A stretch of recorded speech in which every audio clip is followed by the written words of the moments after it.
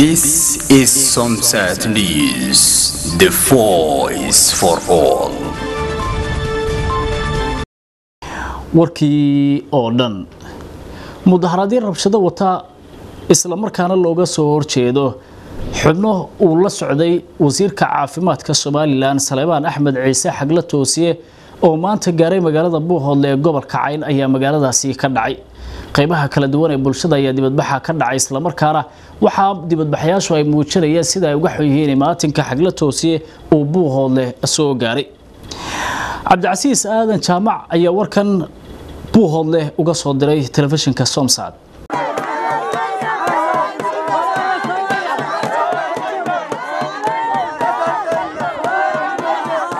kadib markii maalinnimadii shalay ahayd magaalada buuhoodle uu soo gaadhay wasiirka caafimaadka maamulka somalilan salebaan ciise xagla toosiye ayaa waxaa cabbaara lixdii subaxnimo ee saaka.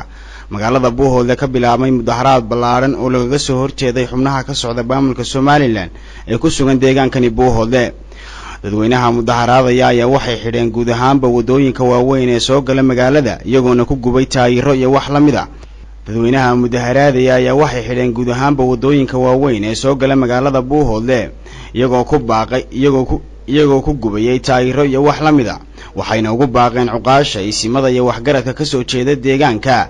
Ilaa laga saaro xubnaha ka socda maamulka somalilan inaysan joojinaynin mudaharaadada noocan oo kale ah. Hadalladoodiina waxaa ka mid ahaa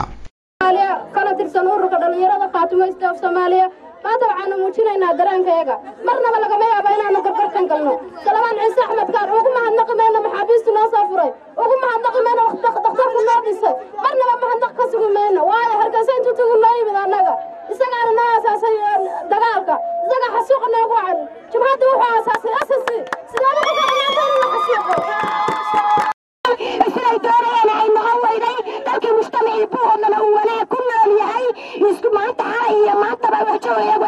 waxjoogayagu aad u fiican yahay waxaanu u sheegaynaa maamulka somalilan iyo wixii ka socda inayna ka soconayn buuhoodle oo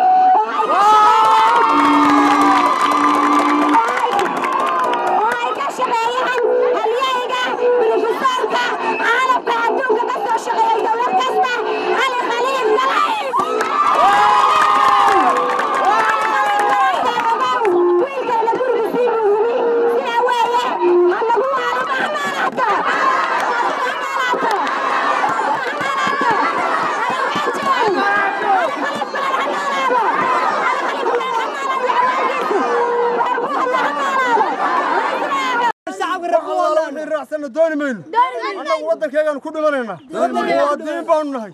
Somalilanna uma ogolin xeertoosiyana uma ogolin xeertoosiyana ma rabno. Isagii wuxuu wataaba ha naga joogeen. Somalilanna dooni mayno wixii taageerana dooni mayno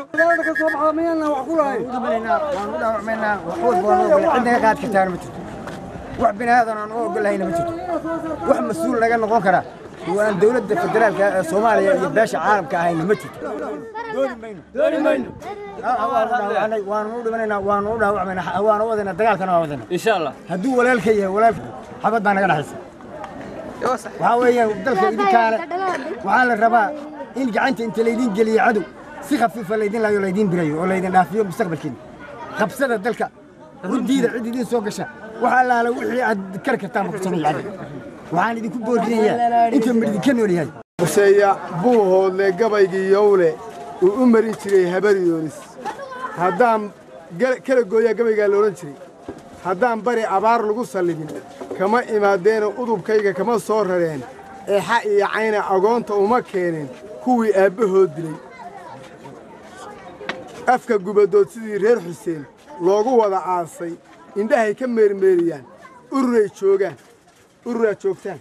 Maanta in la yidhaaho waa muqadis somalilan wuxuu kale oo yidhi nin ragoo caddaan loo dilaa ee calaamad ee cabdiqaadir bay muudsadeen. Maalin duhurkii iyo mishigaanku goortuu derderay. Maalintii ma gaalo gasilma cuno anfaco waa hore ka go'ay.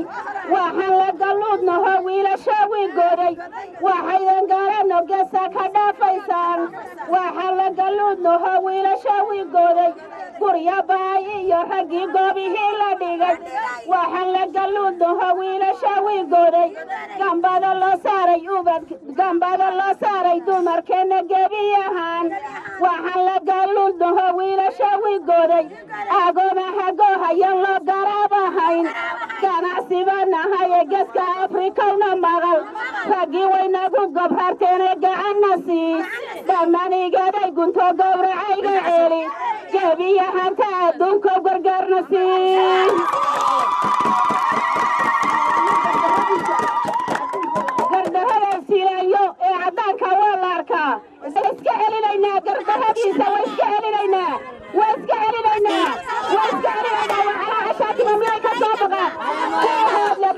banaanbaxani ayaa ahaa mid ka duwan banaanbaxyadii hore ee ka dhici jiray magaalada buuhoodle waxaana isugu soo baxay kumanaan dadweyne oo isugu jira bulshada qaybaheeda kala duwan ee ku dhaqan magaalada buuhoodle iyadoona wax khasaare ah uusan geysan banaanbaxani.